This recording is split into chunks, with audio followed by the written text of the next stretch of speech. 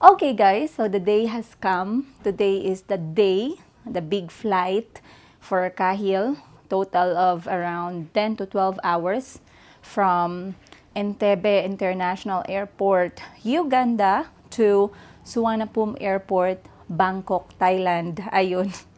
So, papakita ko lang sa inyo ang mga uh, napako para sa kanya. This is to help other parents out there who are going to have uh, the, their first experience sa um, unassisted, sorry, first experience ng unassisted minor flight.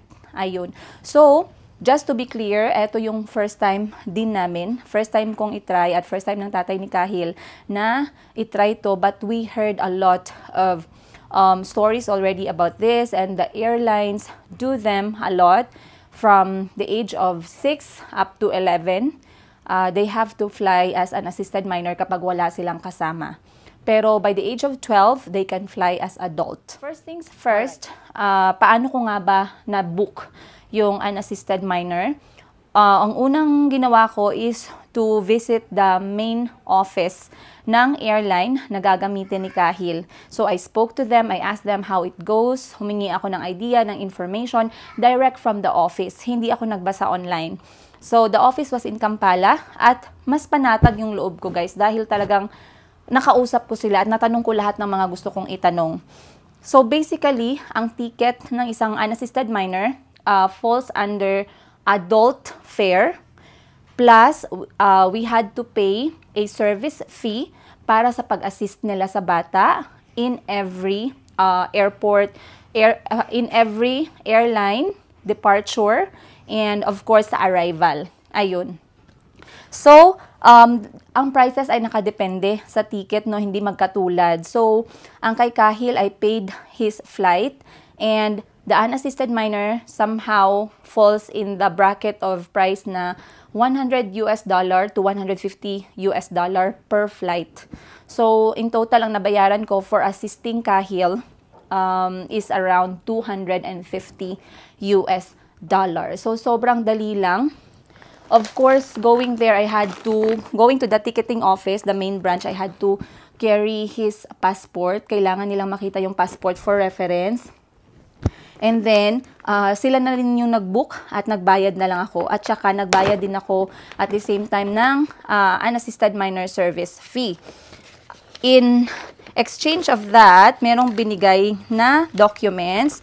Iba-iba sigurong documents no nakadepende sa airline. But, for Ethiopian Airlines, they give me this form in four copies. It's called Unaccompanied Minor Form, Request for Carriage, Handling Advice to parent or guardian of an unaccompanied child. Ayan. So, four copies to and it's supposed to be given to every staff na magre-receive sa kanya sa airport hanggang sa maipasa siya or maibigay siya sa kanyang dad. So, ang only person lang na tatanggap sa kanya ay ang kanyang tatay at wala ng iba. Ayun. Very clear. So, that's what I did for the unassisted minor flight medyo kinabahan pa ako nung una guys kasi nga first time ko hindi ko alam kung anong mga preparation. Akala ko kailangan maraming gawin, kailangan maraming documents na i-prepare. Pero hindi naman pala. As long as organized lang yung airline. Ayan. At experience na din yung mga malalaking airline. So, um, of course, in the end, uh, we have to also pray para naman mag-guide yung travel ng ating mga anak. But we are happy that we are doing this. Masaya ako at masaya yung tatay ni Kahil kasi we really want him to be independent. At kung ang pangarap ko man para sa akin at sa mga anak ko ay makapag-travel, this is another way for them to see the world and for them to feel na they can accomplish something on their own kahit na wala ako.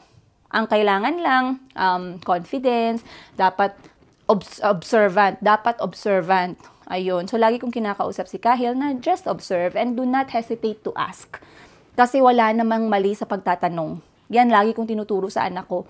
Kasi normally, meron tayong mindset na nakakahiyang magtanong, nakakahiyang mag-ask, so baka sabihin ng tao, hindi ka marunong magbasa, ganito, ganyan. No, it's always uh, okay to ask. And we always start learning from there. So, ngayon, mag-start na tayo sa ating, wait lang. Alright. Check ko lang yung microphone.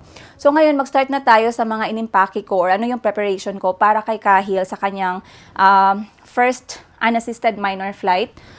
Uh, like I said, this is our first time and sa mga first time mommies dyan na gagawin din tong service na to, at least makakuha man lang kayo ng idea or tips kung ano yung ginawa ko. So, first things first, nagsulat ako ng mga kailangan kong gawin. I have this very small notebook And I have here two pages and what to pack for Kahil. So, sa first part, meron akong what to pack for Kahil in his backpack. And sa, sorry, in his um, fanny pack, this one. And the other one is what to put in his backpack. So, sinulat ko talaga siya kasi there's a big chance na marami tayong makakalimutan. For me, I don't rely much sa utak ko lang, guys. Kasi makakalimutin ako. That's number one. Number two is, ayoko ng stress. Ayun. Kung pwede ko lang i-manage yung stress, I will. So, gagawin ko yung mga bagay in advance and I'll make sure na at least organized para naman hindi, hindi tayo ma-stress on the day. So, ngayon nga, it's already 11 o'clock and we will be leaving papunta ng airport in 2 hours. So, ngayon, eto na yung laman ng bag ni Kahil. Napako na, pero ipapakita ko lang sa inyo. So, the important thing here is his fanny pack. Eto which is going to be actually his important things and I am going to put for him a 100 US dollar bill. Ayun. Bibigyan ko siya ng 100 dollar bill dahil uh, panggastos just in case sa airport. Kung hindi naman, his dad is going to ask him to save it. Actually, meron din akong change nito eh. Maliliit na bills. So, eto ang laman ng kanyang fanny pack. Pera. So, why did I put 100 USD? Why did I put US dollar? Kasi kapag ka UGX, mahirap gamitin yung pera ng Uganda. Hindi siya yung well-known na note na euro or pounds or or US dollar or Canadian dollar, hindi. Ugandan shillings is not as popular at hindi siya tinatanggap sa mga maraming stops. So, 100 US dollar, ilalagay ko sa kanyang fanny pack just in case lang na meron siyang gusto or meron mang something hindi natin maisip, right? But, con contingency, yun yung tinatawag nila for contingency purposes. And here in the bigger pocket, andito lang yung kanyang important document which is ang kanyang yellow vaccine at ang kanyang passport. Passport, of course, alam naman natin kailangan yung passport sa pagta-travel and they take this out a lot of times when you are traveling. So, um, the more accessible it is, the better. So, lagay natin dito. Yellow vaccine is a vaccination na binibigay kapag taga-Africa ka or nakapag-travel ka ng Africa and some other few countries na kailangan mo or required ng yellow vaccine. So, this vaccine is good for 10 years And Kahil has this already from Thailand. Ayun. So, hahanapin to sa kanya pagdating niya ng Thailand. So, make sure natin na nandyan. So, basically, ilalagay lang yan ni Kahil sa kanyang chest like this. And lahat is easy access. Buksan niya lang, pakita ang passport, close. Very good. Then, okay. Another thing that I'm going to add here is his small toy. Meron siya ditong brick, brick game ang tawag namin. brick game yung tawag namin dito or Tetris game. Heto lang siya. So when I took him out to buy few things for himself for this flight, nakita niya to and it's very good kasi sobrang compact niya lang at sobrang liit. And um, talagang kompleto siya ng games. Ayun. Ay. so, naglaro din ako nito and I was really enjoying. Ito, may meron talaga siyang Tetris na game. Ayan.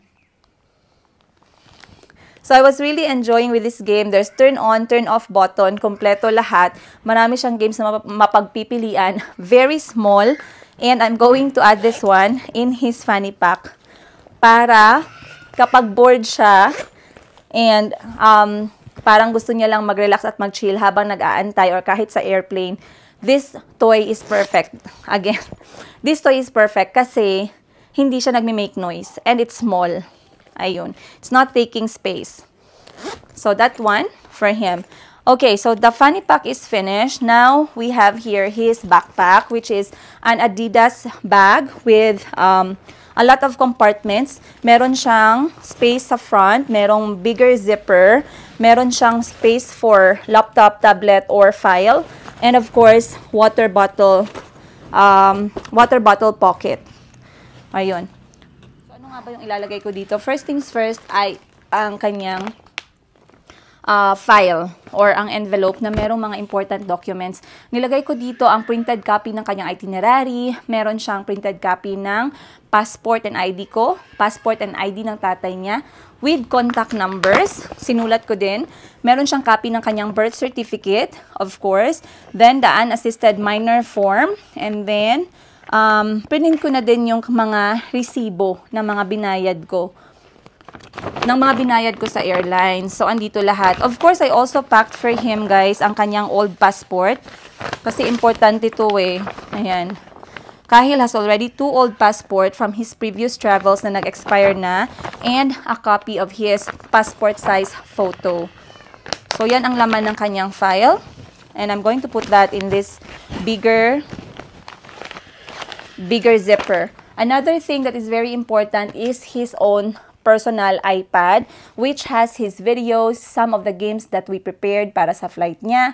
Nag-download din kami ng mga free videos from YouTube and Netflix na pwede niyang panoorin just in case he's bored and he wants to watch something. Ayun. Siyempre, nandito rin ang contact ng kanyang dad at contact ko for him to be able to contact and call us immediately kapag nakalapag siya ng uh, airport. Ayun. Uh, next niyan is, I also packed for him a pair of clothes to change. Uh, minsan hindi kasi natin naiiwasan, kahit nga tayong mga adults, minsan nagkakaroon tayo ng um, incident na nababasa or nat natatapunan or nasusuka or we feel just we want to be fresh. I packed for him fresh un underpants and a shirt and shorts and socks as well. So that one goes there, of course.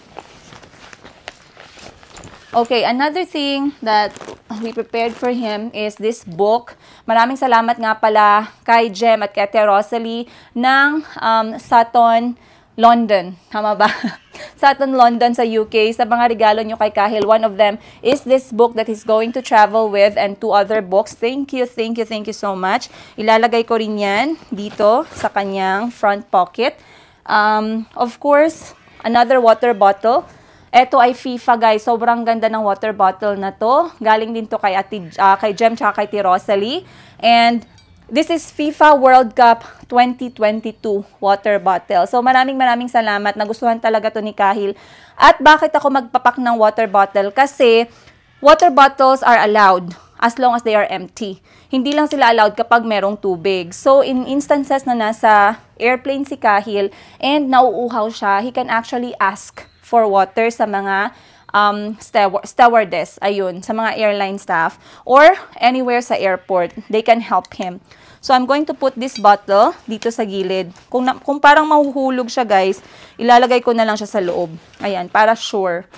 Uh, the remaining things here are just his essentials, like his snacks and his soap, toothbrush, toothpaste, and of course, wet wipes. Malapit na tayong matapos. Siyempre, wag nating kalimutan ang mga charger, cord, power bank if meron kayong ipro-provide. But for me, I'm just sending Kahil his original charger para sa tablet niya. Ilalagay ko dito sa harap. Then, everything for cleaning, toothbrush, soap, wet wipes.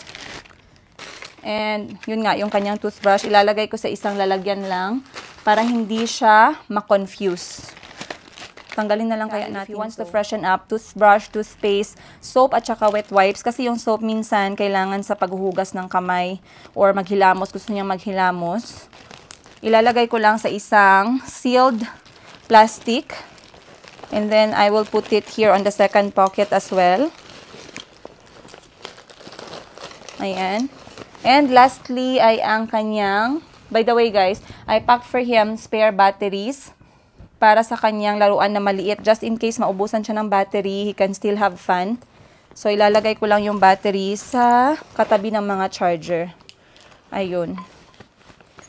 Last but not the least, oh hindi pa. So, and uh, now we are on his, hindi naman mabigat. Mabigat lang talaga yung tablet.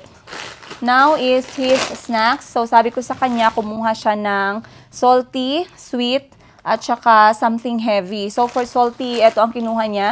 Kasi minsan, di ba, pag nagpa-flight tayo, depende yung panlasa natin. Minsan kung gusto natin kumain ng kahit naman saan. Minsan gusto natin kumain ng maalat, minsan gusto natin matamis, minsan gusto natin yung medyo mabigat sa sikmura, lalong-lalo na kapag medyo natatagalan yung pag-serve ng food. So for salt, for salty, ito, Ah, ano lang to siya guys, potato crisp. Ayun. Um, made of made, of potato talaga. Then for sweet, he chose Skittle. Yung mga maliliit lang, he also got himself a Haba Baba. He also got himself a Haba Baba which is a bubble gum that you can blow bubbles. Fine. Can make him busy. And for something heavy, he got Oreo and chocolate chip cookies.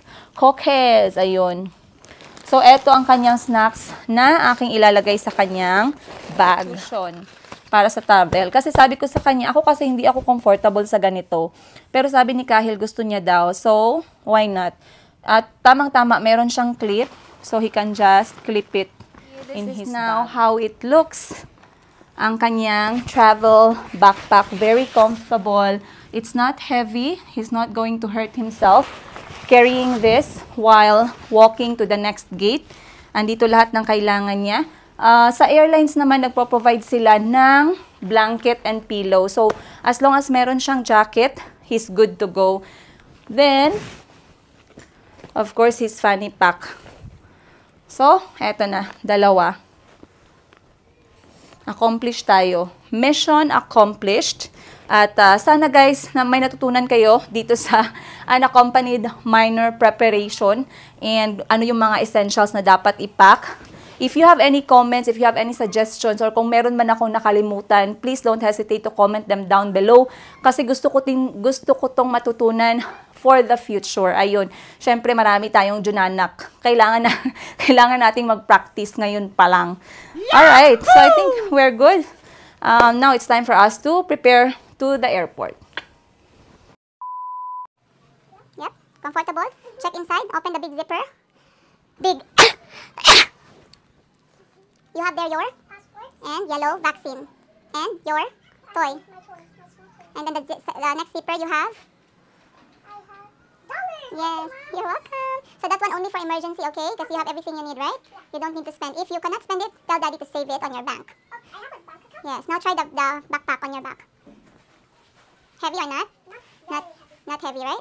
Now, let's see what's inside so I can tell you. Kahil ay papunta na ng, where are we going? We're going to Entebbe Airport. You have to speak louder bit. We have to, we are going to Entebbe Airport. Yes, papunta na kami ng airport ngayon. So, hindi ko na sinama ang mga bata tsaka si Auntie Christine dahil mababaw ang mga luha ng all at ayokong maging moment dito ng ano, ng iyakan at kalungkutan gusto ko maging masaya at excited si Kuya Kahil sa kanyang first ever travel alone. Of course, assisted by the airlines, right? Mm -hmm. How do you feel? Great. Are you excited? Yes. What What are you looking forward for this travel? I'm looking forward to seeing mm. Thailand again. Mm. And then looking forward to see my dad because yeah. and I know he's very excited and so am I. Yes. And did you say goodbye to your brothers? Yeah. What was Chico doing? Chico was sleeping like this, hugging the wall as usual. Oh, he loves the wall. Mm -hmm. Kasi nagpaalam na siya kay Chico, pero tulog si Chico. So, sabi ko magpaalam lang siya. Hindi ko na binidyohan, guys, dahil yung mga ganyang moment, gusto ko talagang wala yung camera at talagang ma-feel ng mga anak ko. And of course, nagpaalam na rin siya kay Kulit Kulot and kay Kuya Nasri, Kuya Kahil at sa kanyang friend na si Tem. Of course, Ate Sara and Auntie Christine is there, right? Yeah. Yeah. So what are you having there? You are you are ready with your easy pack? Yes. And yeah. then my backpack with all my snacks and the things I need. And jacket. Yeah. So you will fly from Entebbe Inter International Airport to Addis Ababa, Ethiopia. Two okay. hours flight. Okay. Okay. Then you will wait in the next for the next airplane, you will wait for like three hours only. Okay. Just one movie and one game. Alright? Okay. Then, uh, three hours, then you will have eight hour flight to Thailand. So that's a total of 8 plus 3, 11 plus 2, about 13 hours in total, guys, na travel. Yeah, that's one day and one hour. Huh? Yeah. 12? One day is 24 hours. Yeah, but in the night and then 12 hours to morning. Yes. It's just night to morning, but it's not 24 hours. Not bad. It's like you're going to sleep in the plane. Uh-huh. So what what do you do in the airplane? Have you planned what you're going to do inside the plane for 8 hours? Um, for 8 hours, I will be doing, uh, playing games and then sleep. And Dinner wake- first. Dinner first. Okay, window up. Dinner first. Ah, Uh, Okay. wa- uh, brush teeth. freshen up. Yeah. What else? and then go sit back and then watch one movie, go to bed. If there's still time, I can be watching some videos and then have a little nap time. Mm. And then once But, we read, mm, important. Okay, Kahil? yeah. Lagi kong sinasabihan kasi si Kahil at ang mga anak ko actually guys, kapag nagbabiyahe ako kasama ang mga bata, sleeping time is non-negotiable. Uh, they can watch the TV, the entertainment on the plane, they can play on their tablets, they can play with toys, but sleeping time is non-negotiable. At least 6 hours, especially sa mga long flight. It helps with the mood, it helps with the energy. Alright. Kahil is now ready, showing your outfit for airport. Ay, your socks are still there. He's wearing his comfortable shoes, shorts, and a very smart shirt. with perfume in it. May, pa-perfume. Kasi wala kaming downy. Nagpabili si Kahil ng KFC, Tower, Burger, Spicy for takeout. O, ba? Very specific. Mahilig kasi si Kahil sa spicy. Which level of spicy do you like? Level 1? 1 chili, 2 chili, or 3 chili? Two. 2 chilies. Yeah. And did KFC give you the 2 chili last time? No, it gave me one chili. I know. But now in Thailand, you're going to eat again spicy, right? yeah. McDonald's has Me and waiting. Naantok na si Kahil. Kasi gabi na sila natulog kagabi. But they slept well in the morning, right? You slept well in the morning. Or, or Yeah. you woke up early. I woke up early because of the sounds of Adi and Kobe. Okay. Kobe went like, I packed for you. like, Oh. Kobe, I mean, mommy, mommy. I know, Chico is always like that. I Hug. packed for you sunblock. Kasi guys, masyado siyang exposed sa init, lalo na sa football. You're always playing on the sun, okay? Under the sun. So, always put on what? Sunblock. Block. What to if avoid, it's raining? Still, to avoid what?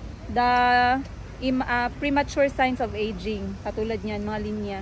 Sabi ko nga sa kanya, alagaan niya ang mukha niya. Huwag niyang ibaliwalain katulad sa akin. Charot. Ayan, may sample ako sa anak ko. Ayaw niya magkaroon ng katulad ng mga ganitong scars sa mukha. So, he needs to take care of his face, okay? Otherwise, you'll have scars like mommy and it's not nice. Mommy? I mean, it's nice if you know how to accept it. right? Yeah. Uh, yes? Mommy? What's your question? You, did you know that when you're in the snow Mm. the- and the eyes protect you from blindness, they have something here that is white Yeah. to protect your eyes. Oh, but that was a blindness. snow going there. No, the snow goes to your eyes, and if you stay in the snow within one day, you'll become blind. Mm. One eternity later. Okay. Walking na kami to departure area and we are on time.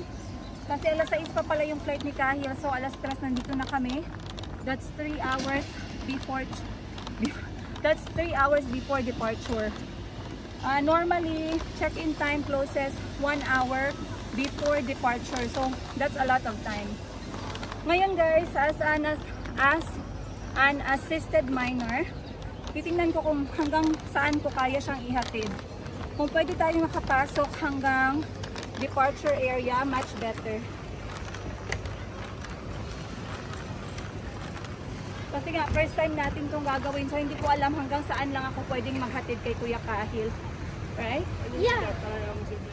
Okay, guys, now I'm leaving Entebbe, Uganda. I'm so excited to see my dad, and I hope I can come back and visit again. To do what?